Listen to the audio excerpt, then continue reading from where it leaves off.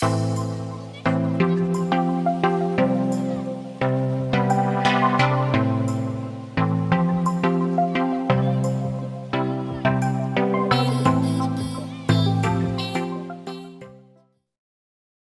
evening, everyone, and welcome to this last uh, Copernicus Accelerator webinar uh, for 2018. Um, we're very glad to welcome you all. Uh, we see that there are many participants today, which is fantastic.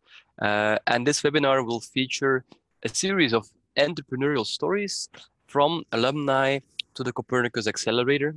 Uh, they will share with you uh, their experiences, some tips, some best practices on how they got the most out of the Copernicus Accelerator and especially how they moved on after this program, making use of all the lessons learned for their Copernicus-based services and Copernicus-based startup.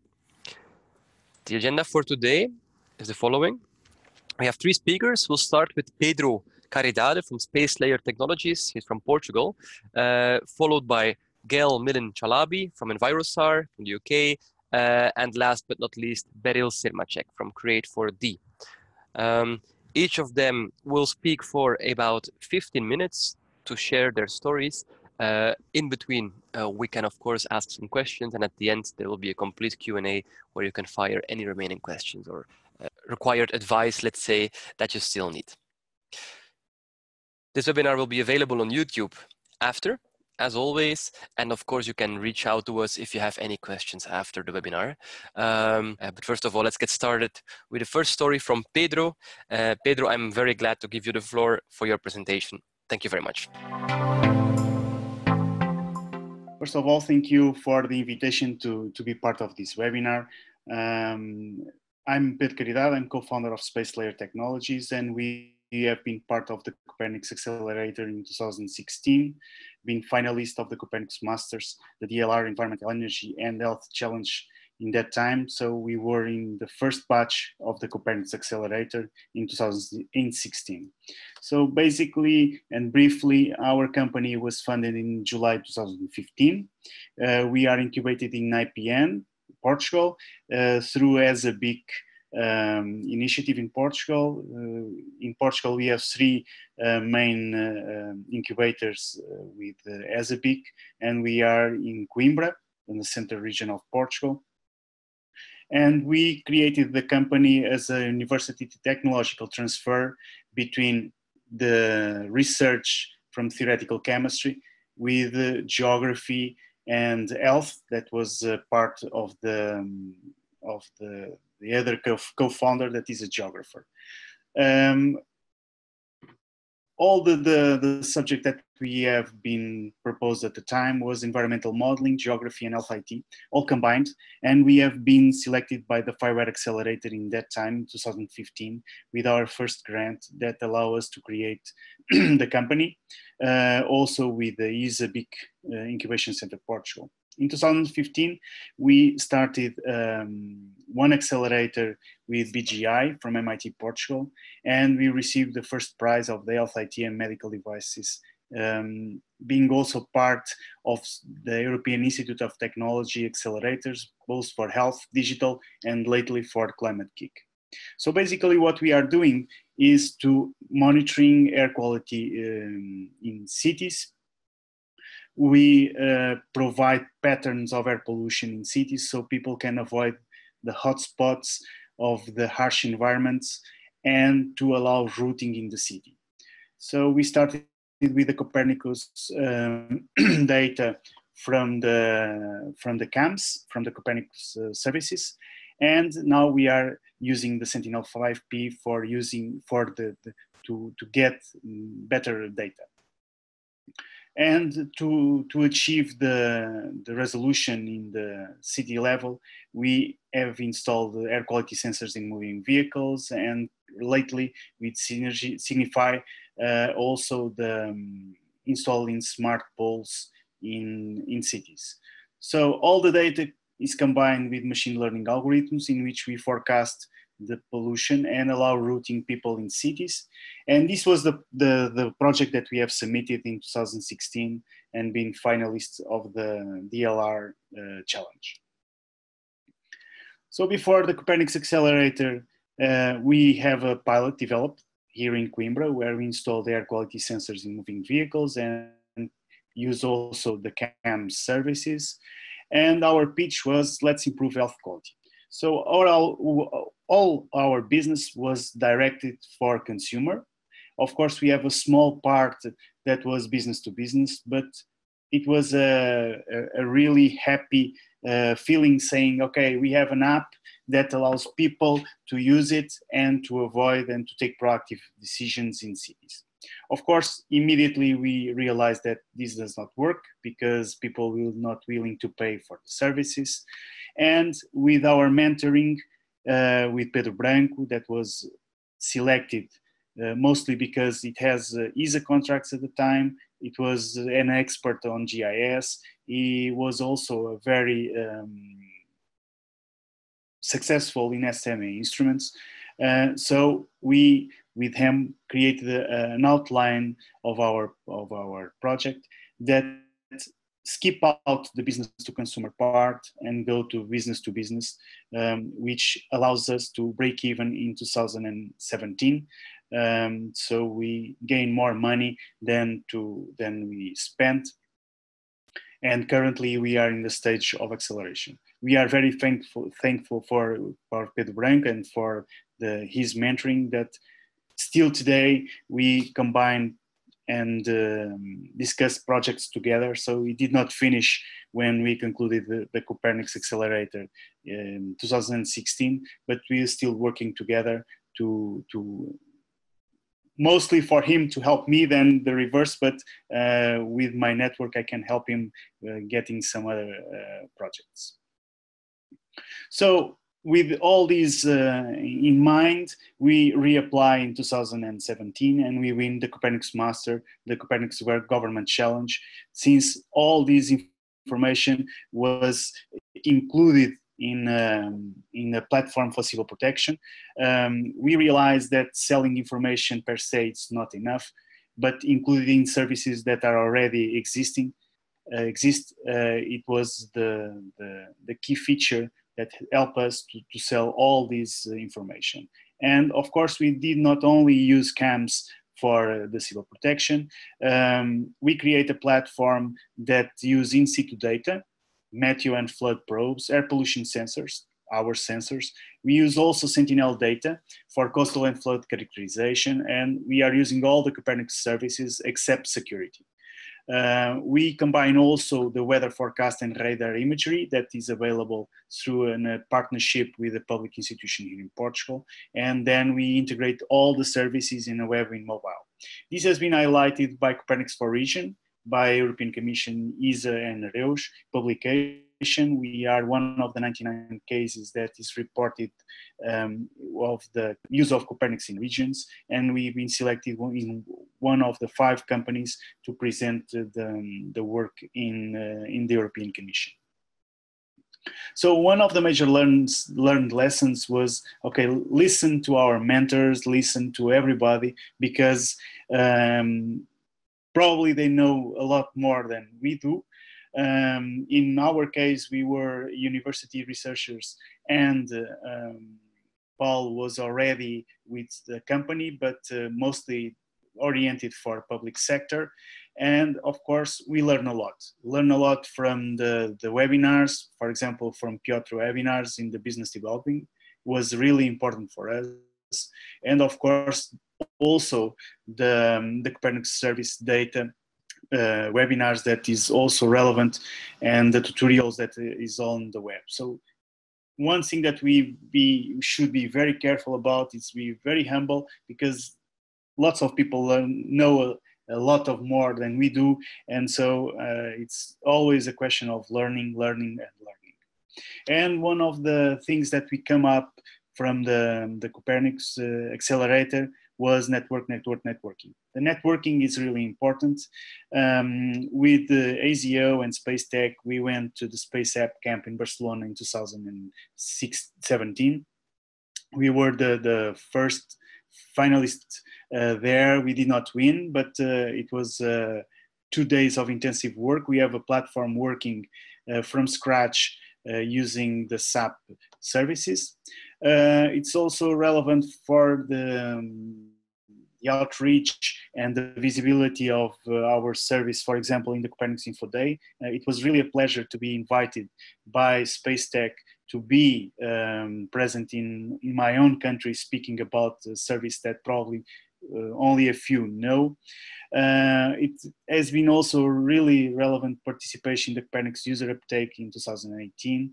And of course, the branding and the awareness was uh, one of the major uh, outcomes that we take from our networking with um, with our with AZO and Spacetec and the Copernicus uh, Accelerator. Right now, we are part of the Copernicus Academy.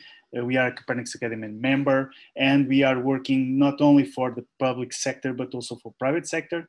Uh, currently, we have projects uh, using asphalt integrity assessment. We are using advantage tourism. We have an uh, ESA ARTES project that is being submitted for a final, full final proposal. Uh, we are working with civil engineering, uh, project that has been recently uh, been accepted here in Portugal as a, as a big partnership. We are doing the technical development of these uh, these services, and uh, we have also the traditional forest wood and the agriculture field because although this is not our core business, we are helping companies to use technology um, from space downstream to, to help on this, um, on this business.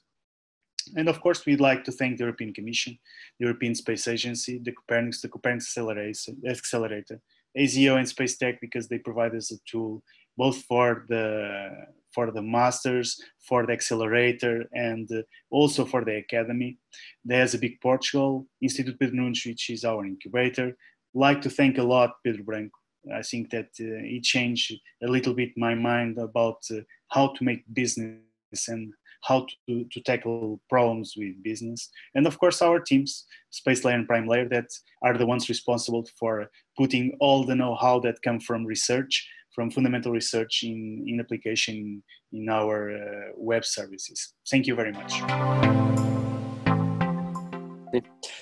So I'm uh, very glad to give the floor to, uh, to Gail who will now, uh, from EnviroSAR, who will now uh, share her perspective on, on being a mentee in the Copernicus Accelerator, and also, of course, her tips and, and best ideas for all of you to learn from her experiences.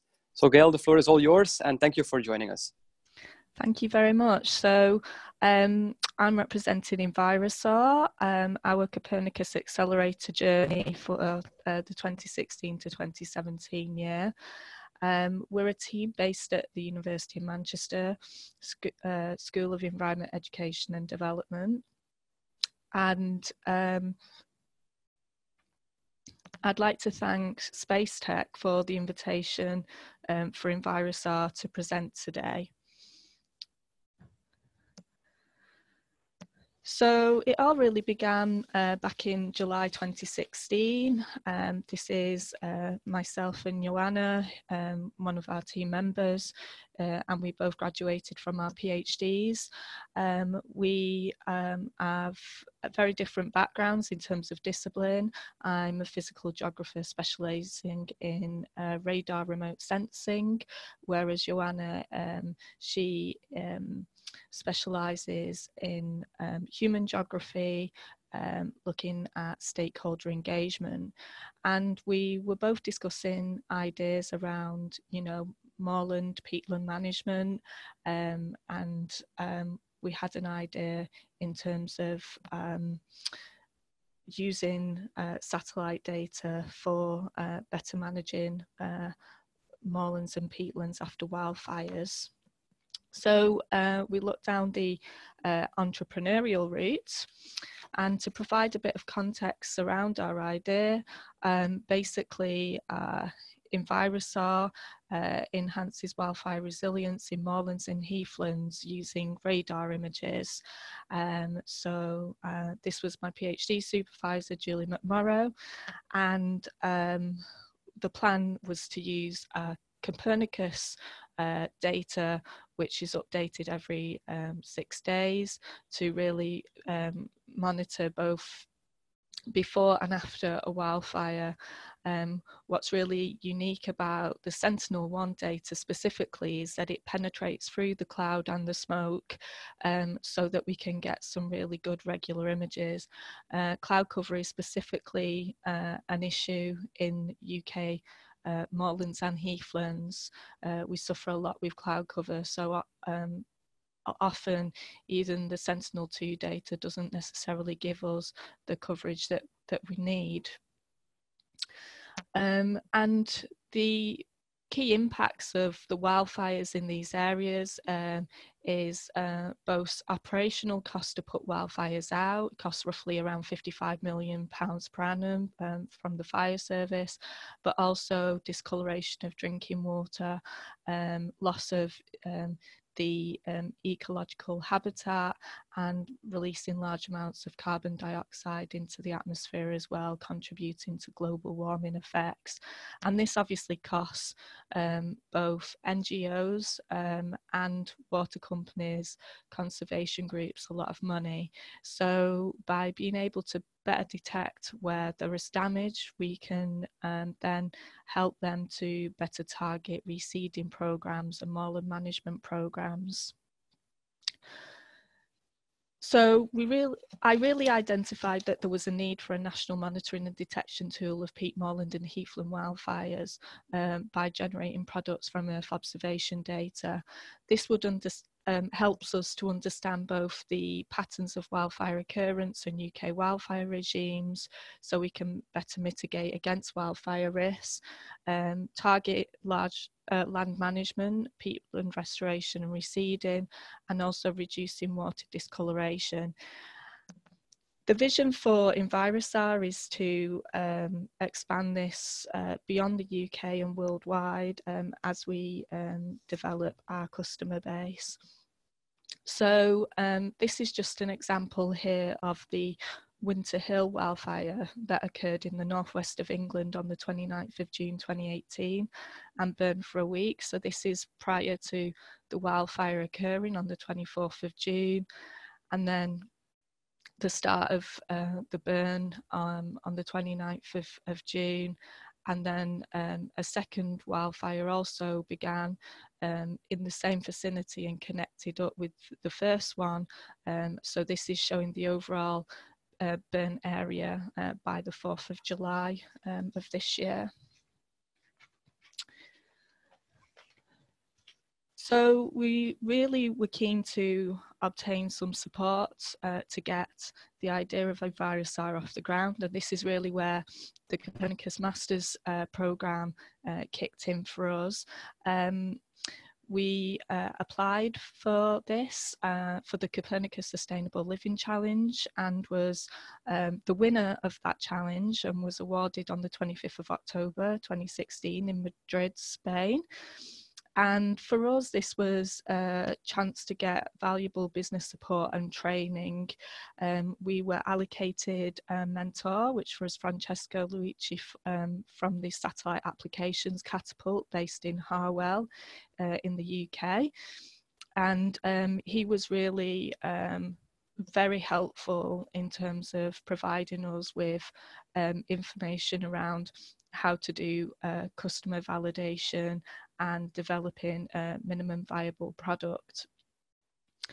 And um, by winning the um, Sustainable Living Challenge, which was supported by the Satellite Applications Catapult, it really increased the visibility of our team um, and, and our idea um, and really allowed us to um, start to develop a, a pilot and um, understand our customers uh, better.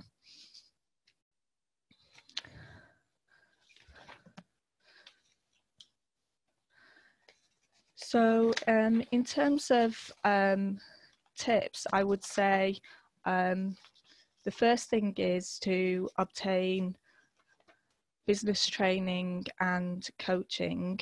So um, the Copernicus Accelerator uh, was fundamental in EnviroSAR moving from concept stage to startup stage. Um, at the end of the process, we secured seed funding by the University of Manchester for £5,000 as part of their Momentum programme. Um, and it all began with face-to-face coaching in Madrid at the start of the Copernicus Accelerator journey. Uh, this was the first uh, Copernicus Accelerator. And as you can see from the photos, we were able to first of all meet with our mentor um, and discuss our ideas with him and obtain feedback and produce a plan of action. We also were able to meet with um, other um, people from the um, Earth observation uh, sector uh, and get feedback from um, uh, about our ideas. Um, and it also gave us this opportunity to pitch our idea as well, um, which was really valuable because we were from an academic background. So the type of presenting that we'd done previously wasn't really around pitching, more doing um, uh, academic presentation. And we identified, you know, that our key clients were water companies, insurance companies, landowners, um, and NGOs. So um, this was a really valuable process. We were then able to introduce EnviroSAR um, to um, the uh, satellite applications catapult in Harwell in Oxfordshire as part of one of their Satachino events. This is where they um, bring people from all different industries who are interested in the use and application of satellite data.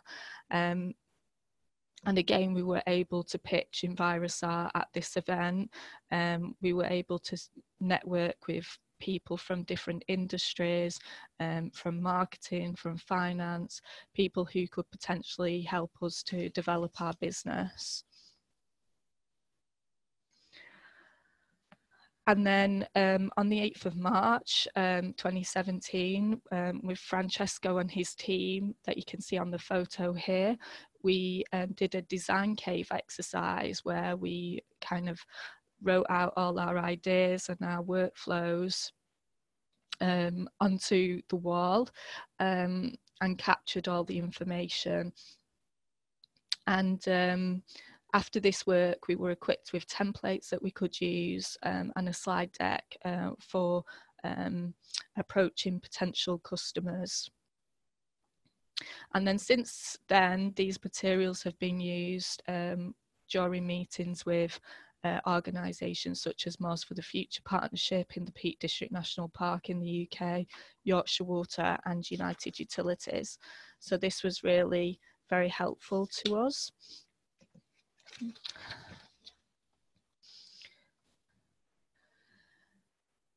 we also were supported by the Science, Technology and Funding Council. Um, so um, they supported us attending the UK Space Conference uh, in 2017. So um, we did a lot of networking during that time.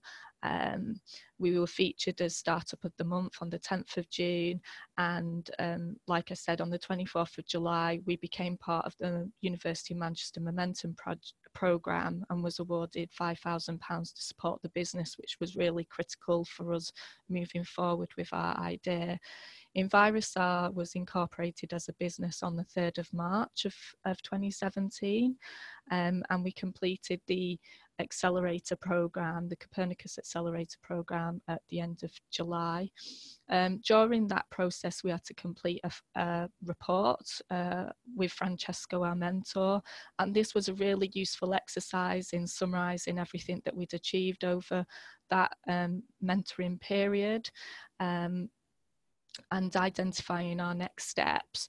Uh, one of those is um, to apply for um, an ESA Business Incubation Centre um, to um, support us in continuing our technical uh, developments, uh, customer engagement, and to grow the team.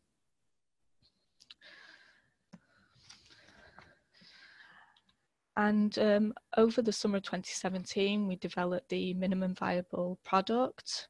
Um, so this is just like a quick mock-up of um, bringing in different uh, data associated with wildfires, land cover maps.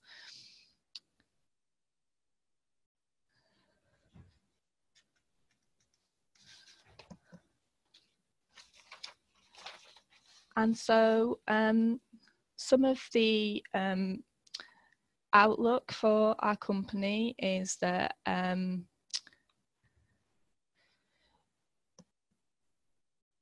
we um, obtained funding for Copernicus Masters competition, but we did this alongside our technical partner, Sterling Geo.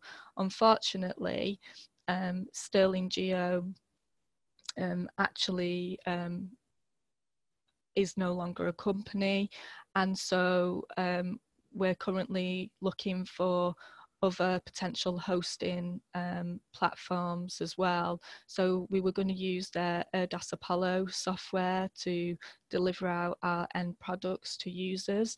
And um, unfortunately, now that um, Sterling Geo isn't a company, we don't have that kind of relationship anymore. Um, so we're looking for other um, ways to do this. So that was one um, potential issue that we've come across. Um, we did um, achieve a lot in 2017, um, obviously completing the accelerator program. We did a lot of stakeholder engagement, lots of networking activities. Uh, we established a partnership with Moors for the Future um, and we developed a minimum viable product during that time. We did apply for the United Utilities Innovation Lab, but again, unfortunately, we wasn't selected in that, but obtained a lot of valuable in, um, feedback. In 2018, um, we have managed to secure our first customer um, and we've done a lot of research and development with the Sentinel data for um, sort of fire uh, monitoring. But of course, um, we've not been able to ingest results into a geoportal because as yet we're still looking for what best to use um, now that we're not using ERDAS Apollo. Our plans for 2019-2020 is to continue our R&D work with Copernicus datasets um, and to um, apply for an ESABIC at Daresbury in Cheshire um, previously ESABIC uh, opportunities were only available in Harwell in Oxfordshire. Um, Daresbury Cheshire is much better for us geographically as we're lo located in the northwest of the UK. So this is um, something that we really would like to go for uh, next year and also to expand um, our case studies to uh, other areas such as Heathland, so perhaps working with Dorset Heathland Partnership um, and looking at other environmental risks that we can address using SAR and INSAR techniques. Ultimately, um, these are the main benefits um, of EnviroSAR um, to um, our customers. So saving water companies money, um, saving conservation groups time and money through generating burnt area maps um, and adding value by combining existing field data with Copernicus Earth observation products, um, looking at burned area regeneration rates uh, for restoration. So my tips would be, um, first of all, to um, know your USP, um, so for us, that was really focusing on using radar data because this penetrates cloud and that is a big issue for um, us in the UK. And this builds upon the PhD work that I did um, um, and submitted in 2016. Also to establish a strong multidisciplinary team. Um, so you know, we, between us, we've got over 10 years of combined experience in remote sensing and stakeholder engagement for carbon management. Because um, it's a um, startup, uh, a lot of the time, you know, we're um, not getting paid uh, for doing this work. So having people that are really committed to the vision of your company is really essential. Um, you know, we've had um, situations where um, team members just unfortunately just don't have any enough time to put into this and so they've had to take a step back um, from from the work that we're doing um, and obviously the other thing is trying to grow the team as well so there um, is a need really to to do that um, for EnviroSAR at the moment um, as we're uh, developing our business. My third tip is to obtain business training and coaching. So, um, the top left picture here is um, the roadmap workshop that I attended at the University of Manchester. Um, and um, this was a really good uh, starting point and enabled me to think about applying for um, the Copernicus Masters competition. And then, obviously, thereafter, having the Copernicus Accelerator program, which allowed us to attend business trainings as well over in Daresbury, um, supported by the Science Technology Funding Council. Um, we also were put in touch with um, marketing companies too, and uh, this has been really uh, helpful to getting our brand um, out there fourth tip is to attend networking events. So um, I would really say, you know, share your idea and obtain feedback, listen to others from different disciplines and backgrounds. Um, this was an opportunity um, for EnviroSAR to present at Innovate UK, um, and this was great for introducing EnviroSAR to the UK business market and also um, for learning about uh, funding opportunities that were available at the time. My fifth tip is um, to market your work to gain new customers. So um, this year, the UK experienced an unprecedented uh, wildfire season, uh, which sparked a range of media interest in EnviroSAR and what we do. Um, as a result of these high profile interviews on BBC Breakfast and BBC Radio 5 Live um, and the BBC uh, One Show, which is a primetime TV show in the UK at seven o'clock uh, in the evening, um, this resulted in um, obtaining our first customer. Um, and so really, you know, this was one of the uh, main targets at the end of the Copernicus Accelerator program to secure a customer. So this was great news for us. Um, and like I said, in 2019, we aim then to complete our second target out of the Copernicus Accelerator program, which is to apply for an ESABIC uh, to accelerate the research and development activities for the business. So um, thank you very much for listening. Um, I'd like to just thank um, the European Commission, the European Space Agency, the Copernicus Accelerator team, the Satellite Applications Catapult, uh, the Science Technology Funding Council, the University of Manchester, and the University of Manchester Intellectual Property for all their support um, over these past couple of years uh, in developing EnviroSAR. Thank you.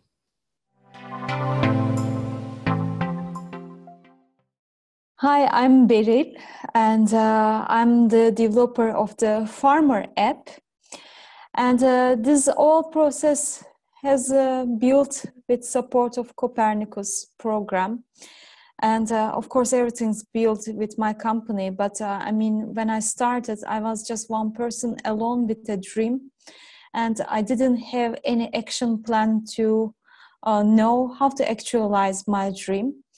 And uh, I was so lucky, I was selected to Copernicus um, Masters uh, Accelerator program, where uh, in the year 2016, when I was also a finalist of the DLR Environmental um, Challenge. And um, uh, I went one year uh, process of accelerator program by being coached um, with my mentor from uh, ESA Noordwijk in the Netherlands. And uh, Copernicus program uh, supported me during the program also with webinars and uh, contacting me constantly, asking me what I need and how I can reach to potential customers to get some feedback during the development process to ask my questions about how should i take my right actions so things rolled down perfectly. And finally uh, my dream app came to the app store uh, where it reached to a few thousands of users at the moment. And um, that's incredible process happened. And uh, i would like to introduce what i'm talking about. What's the app and I would like to tell you a little bit more about my personal experience, how the process should be taken in order to achieve successful results in my perspective. Of course, that wouldn't apply to everyone in the same manner, maybe, but um, it might give you some ideas about how to uh, make the best of your startup and make best of the Copernicus Master Program, accelerated program especially, which is offered you for free. I mean, it's a great opportunity. Let's uh, see how the Farmer app works because um, it's my greatest passion. I've worked with satellite data so long, and I observed that it's some reason too difficult to reach the satellite data uh, when you uh, receive the image, you need to use it with special software products and uh, to generate maps. Those maps cannot be opened by um, by the farmers easily, cannot be um, related to what's actually going on on the land uh, directly. So uh, I want to bring the satellite data to make useful product on the land and uh, I really visited farmers. Uh, drop down most of the time without any appointment. I mean, it, it looked crazy, but I just uh, stopped with my car and knocked their doors. Can I ask you a question? What are you doing at the moment? And um, uh, they, they, they were surprised, but they were really eager to show me what they did uh, with, with, their current uh, situation. Uh, most of them use satellite data. Most of them benefit from the services. But those services, uh, most of the time, are on computers. And when they've got false colored images and they go out to, to try to relate it with the land, they cannot uh, uh, relate what's going on in the field. For instance, they see a plant dying, some areas, uh, soil behaving differently. Uh, they cannot relate the map that they've seen in the office with the land when they're outside. They go to office, they come back to the land, they go back to office to see the map again, they go out to land. That's not practical. That's not, um, I mean, the information is there, but not useful. So uh, what I really wanted to create, uh, sort of inspired by Pokemon, uh, I wanted them to use the app and uh, with augmented reality, uh, they see what's missing in the land, in the soil, what's going on with the vegetation, what kind of disease it is. Uh, just like when you see Pokemon in the app, you should be able to see uh, with your smartphone without going to your office uh, back and forth. And uh, things must be very simple for the person who is in, in the land. So Farmer app really created this from satellite data content. Here the green tag you see is the sudden vegetation density change. And likewise the irrigation need change, disease change are all mapped with uh, geotags. I called augmented reality tags. Uh, sometimes uh, I say uh, they, they are converted to tags which user can see with augmented reality and go towards to see oh what's going on here is the vegetation dying is, is does it need more water is there is a disease all the information comes from satellite and uh, they come to augmented reality and um, of course, these market needs I was not aware of when I started because I just had the idea about how I want to visualize the data and make it more practical for anyone to, uh, to reach. But I didn't know how to make it business and uh, this is the first thing that you can benefit from accelerator program because um, when you get an idea and don't know actually how it could be business you really need to do market analysis and you need to uh, develop uh, how this service should operate as a workflow. And when i uh, check the market needs by support of uh, accelerator program and my mentor, the market needs for my specific area. It might be different for your case but for my area was reliability of the service that you can really expect. I mean if it's saying vegetation is dying you must be having reliable information. It shouldn't be uh, misleading you. And you need sustainable service. What it means i mean if uh, my i can benefit from this service this year i must sort of trust that i can get the service again next year too. So that must be sustainable service in long term. And affordability of course i mean i shouldn't be given thousands of euros to an app that must be affordable for me to uh, reduce my expenses not to just level them up but reduce them and coverage I, I need to reach to a lot of customers preferably all around the world. Extendability was the another thing which uh, user wants to get the data to their computer, get the data to their tractor or other robotics. Um, might be different in your case, but just check if your users needs extendability or not? And what kind of supports your users are needing? Do they need a person to reach?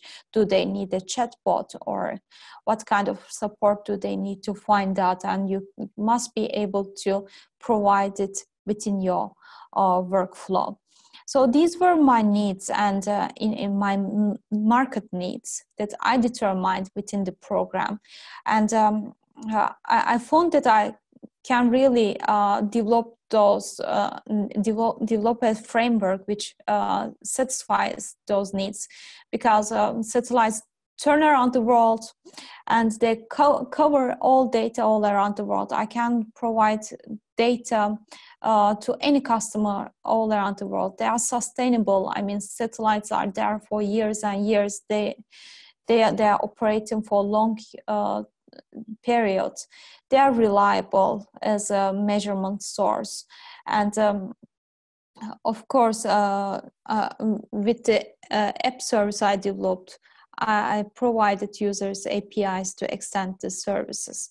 And uh, yeah, a little bit about the app. It uh, just generates the calculations from satellite data, and afterwards, the tags, the red points here you see are the sudden change. So the uh, attention areas that users should be guided to find out what's going on. And they can just look around with the app to see uh, what's needed and go there to um, support uh, their land. And these are some uh, use case scenarios that we uh, just asked to test users and uh, these are some numbers indicated by precision farming. They can really increase their yields. They can decrease the chemical reduction. They can uh, have less disease, less weed, and of course, the less environmental footprint. And this also comes back to my heart when I where I started. I mean, this is the end result, but makes me back to where I started because uh, all the story started in my heart uh, because I wanted to create something which uh, supports the envir- environment uh, and uh, reduces the unnecessary chemical uh, usage. I really wanted to support something which provides good impact to prevent climate change going on, climate change effects, and um, well everything started from this and just circled around and uh, here comes back to where i started to my heart. And uh, yeah some additional features of my own app. It also allows users to create their own augmented reality text with photos that i can now apply machine learning algorithms and um, I, I, just wanted to add a little bit more uh, about my personal experience. First thing, uh, really uh, write down why you do what to do. And uh, why do you want to create this business? I mean, is it is it only for making money? Probably you can find easy ways to make money uh, indeed. I mean you can maybe play a guitar or i don't know not not because it's easy but uh, business is extremely challenging i mean uh, creating a startup especially in in this remote sensing field uh, creating a startup is extremely challenging. And even after startup period when your business grows it will be challenging lifelong. It will not become easier. I mean you see facebook for instance it's not a startup company it's a huge company at the moment. And every day you see the re- news about what problems facebook is dealing with. It's likewise for all big businesses small businesses you you will be dealing with a lot of problems all the time. If you don't love what you do. I mean if you don't have the courage coming from your heart you will not be able to make it. Your your startup will uh, stop will fail within a year or two maximum. So it's it's it's just a dream. Just um, give up if you don't have uh, this big desire in your heart. And uh, really i mean you can just meditate on it or you can uh, make walks in the nature talk with yourself, write it down. Why do I want to do that? Write it down and come up with your reasons. My reasons were uh, were the reasons why I live. That that's much passionate to me. I I'm vegan. I'm so much passionate about contributing to nature, and uh, it makes me cry if I see plants are dying, if I see water resources are reducing, if I see ice are melting, uh, polar bear, bears are having trouble, I mean, animals are suffering, and uh, uh, food is not nutritious enough for people, diseases are growing. Those kind of climate things and how it affects people, environment, animals, it makes me cry and find a reason to make you this startup. It must be a reason that makes you cry. Literally, uh, if you come to that point, you come to your reason uh, that makes you cry, then you've got really power that, that will make you create this business. And it will take you years, year far ahead. Uh, you nothing can stop you if you really find this passion.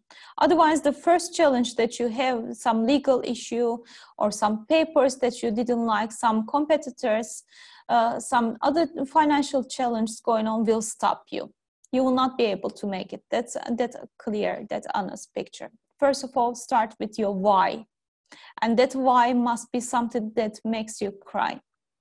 That's my personal uh, suggestion to you to look at. And how to benefit from accelerated program the best is really follow those workshops reach to people in in the program in copernicus masters program. That is the best community. I mean i'm not telling you because i'm here i'm telling you because i experienced that. This is the best community that can lead you to right people in terms of uh, business partners, in terms of collaborators, in terms of customers, in terms of where to find resources, education that you need to develop your further ex- expertise. That's the best community that you can find out. So ask questions how can I find a customer to test my product? Then they will guide you. How can I find this mentor to ask these questions? They will find you. Get in touch with people in Copernicus Master Program as much as you can. Go to activities, workshops, and meet people. This is the best place to be. And uh, regarding to mentor, uh, I was really lucky. I found it very lucky. I mean, uh, I, I, found uh, I, have selected my mentor very close to my location. That time it was uh, one hour traveling distance to me. And um, I met my mentor literally uh, every week. If I was not able to meet, I was doing Skype, but I really tried my best to go to him, to sit with my mentor, and uh, to lay out what I did, what's my business plan what's my next action steps? And he was asking me right questions. Most of the time difficult questions. I was not really very cheerful every time when i meet my mentor because he was asking me very difficult questions. But those were the questions which i really needed to put my focus to make the business happen. And uh, it's very beneficial to select a mentor if you're in the accelerated program that you can reach uh, within your uh, physical reach i mean. If you if i was uh, with a mentor who is from another country probably it would be uh, less beneficial to me. I really got benefit of physically meeting my mentor, sitting on the table, putting all the stuff, showing all uh, development stages of the app, getting feedback constantly. So that was incredibly beneficial. So these are my experience, and uh, you see my um, Twitter link and um, uh, website on on the screen, uh, or you can find me on LinkedIn uh, to ask you further questions. I'd be delighted to answer you if I can support you. And th- these are my personal experience with the program. I really thank everyone who were in the process and who are still there uh, or who will be there in the future. I thank you a lot. I mean, that, that's not uh, one person work, that's something that we did together. Thanks a lot. Thank you so much, uh, Beril, for this super engaging and super inspiring uh, presentation from your side. I mean, it's very clear that you have a passion for what you are doing, and and I think you're inspiration for all of us. Um, uh, so this was the last presentation, everyone. I, I think, uh, or I hope at least that it's been very um, informative and that it's giving you the, the extra push, let's say, to, to absolutely go for your startup and your Copernicus-based services. We do have a bit of time left, so I suggest that we use that for a Q&A session. I, have seen that there are some questions already in the chat, um, uh, and let's have a look.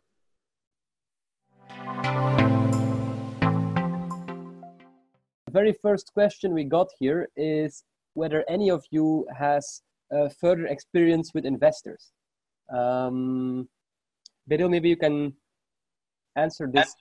I, have been talking to investors, and um, well, uh, not really having experience because I didn't uh, sign any agreement with uh, any of them. And as I said, I've got a reason which is um, more than uh, money, uh, and my focus is always uh, finding a connection heart to heart because I'm doing this stuff.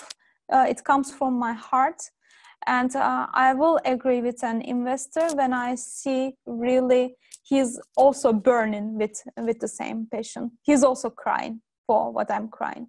He's also waking up for the same reason. Maybe, maybe I will not find it, and that, that's fine. But um, that's what I'm looking for. When you are looking at the investor, maybe list the criteria. What do you want from investor? And and that, that shouldn't be only money. I mean if, if it's only money you can just go to a bank and probably if you're in the netherlands for instance Rabobank gives a lot of money to just uh, for instance what i'm doing in the agriculture. If it was only money you can rent money from bank. It must be possible or i don't know you can probably find some grants at some point.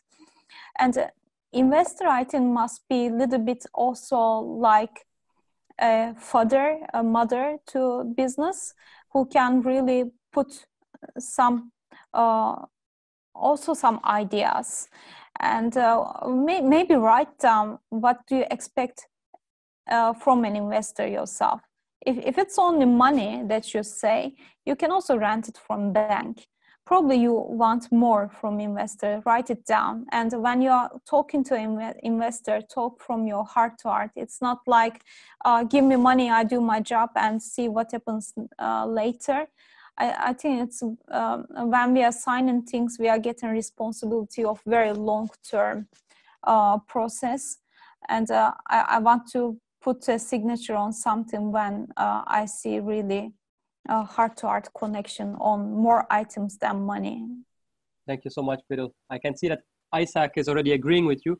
Um, Pedro or, or Gail, do you have any experiences yourself or something you would like to, to add? Well, I think that uh, that uh, that she's sp- spoken everything. Uh, I had some experience in contact uh, um, some investors, and uh, what uh, in early stage, very early stage. So I had a company six months after I was looking for finance and for to raise some money. Uh, I had the opportunity due to the MIT Portugal event to be in contact with the with the investors, but uh, at the time it's always very difficult to find investments when you don't have a minimal viable product or and clients. If you have clients, it's uh, it's already a, a good way to show to them. If you don't have clients then you cannot go to invest well you go to the investment but it's business angels and it's a small seed. And uh, i think that one way to solve the problem and i, I realize that someone is also asking questions uh, is that if you have clients uh, probably you don't need uh, raise money so so so harsh and then you can think about in raising money when you have clients. So if you have clients, I think that everything come up uh, naturally. Uh, if you are looking just for money, it's going to be very difficult. And like Cheryl told, uh, try to look what are, what you are looking for. If you are looking for just money, money will burn in two or three months, and then you are again in the process of earning more. If you have clients and if you have a smart guy mentoring then i think that is much worth than just get money and burn it. Thanks a lot for that uh, extra advice pedro. Gail do you have any comments from your side or personal experiences? Experiences in terms of investments um, some experience in terms of developing partnerships with other commercial entities um, and I found that actually you have to take care with that because sometimes they may appear um, kind of more um, commercially robust than what they truly are. So um, you need to take care who you partner with, I would say. Like look at the background of a, of another company because that is something that may be offered, and obviously that's something that you know we came across on our development journey. Thankfully, we hadn't really signed into any agreements, so it didn't affect us when that particular company was no more. Um, but I agree um, with what Pedro was saying, um, really developing a strong customer base um, where um, you know they they are really interested in the products that you're providing and uh, like I said, co-production, I think is key as well. Like going to the key um, customers and and really finding out what is it exactly that they want and ca- is that something that you can deliver. Um, and for that, you know, it takes a lot of hard work and um, a lot of time, which isn't going to really be paid for. You're not really going to get money from it, but what you're getting is a deep understanding of their problem and um, how you can help them. I think this potentially, you know, it could take many years to achieve. It's not something that will happen overnight. This is um, a long term process if you're really interested in developing a business that is is going to achieve what the customer needs. Um, and also, it will be fluid. It will change over time as well. Um, situations change over time. Data sets that are available will uh, evolve. The requirements will evolve. So, actually, this is always ongoing. And so, it's really a two way communication between you, the business, and the potential clients. Um, and if you produce good work for them, then they're going to come back and use you again and will also say positive comments about your business. And so there is something to be said for getting some initial investments to get your business going. But I would say for that, I would advise more to go down the route of some grants for research and development work initially, um, rather than people who are just going to invest in your business so that you have a real kind of target of what it is that you want to achieve. Like this is a piece of research and development work and i'm going to apply for a grant. So in, in the uk there's a number of avenues for that. One of those is innovate uk they provide a lot of r&d grants and um, and you can also partner up as well with say um, research groups um, and there's usually some r&d pot of money for commercial companies to get involved as well. Um, so there's different avenues um, but ultimately uh, i would say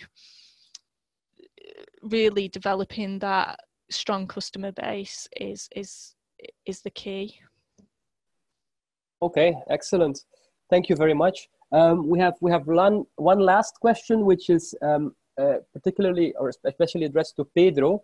Um, person asking that you shift from B2C to B2B, which is what this person is actually doing, and they were wondering if you could explain how you did that, how you got the lead, um, how did you contact the customer, and how did you further decide on the price. Well, it's good to see my fellows from Mateo around here. I think that uh, they are a good company. Um, my advice is the following. Uh, of course, we had a long tradition in previous company working on on, uh, on the municipality basis.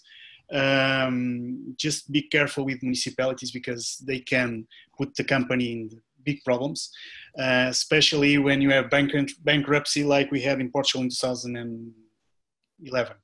So um, when we are going from business to business, um, the thing that we should again like i told before try to first first find the the specific vertical that you are tackling and see who are the most relevant uh, players around. Uh, and then try to to find in some uh, connection and try to get some meeting in the decision making not the, the president but one person that can uh, take you to, to the proper place and speak with them. So this is one thing that uh, we have done. Um, the customer contact it's like that because we need to show to them uh, directly or indirectly. Uh, one project that we have with the Signify is that we are using cross sales. So they are selling electric poles and they sell our uh, air quality monitoring services to to customers that buy their, their so win-win situation and uh, the price? Well it depends on what we are doing. Of course we can always make some arrangement about prices. We fix the price in our solutions uh, although we have some flexibility um, to to make some discounts and they like discounts so i think that is one way but we fix the, the price. Thanks a lot uh, for that pedro. Um, that brings us to 6 p.m which is the end of the webinar unfortunately uh, if there are any further questions, do feel free to write us at hello at accelerator.copernicus.eu and we will gladly pass your question to the respective speaker. Uh, and I hope that the, the three of you uh, are then ready to, to get back to us uh, in case there are any questions. Um, this webinar will become available on YouTube, just like always. Um, and I would again like to thank Pedro, Gail, and Beril for their availability and for their super um, enthusiastic and passionate presentations. Uh, I hope to see you all at, uh, at the bootcamp uh, in the European Space Week next week. Um, my name is Hannes from the Accelerator team, and I wish everyone a fantastic evening. Thank you so much. Bye-bye. Bye. Bye-bye.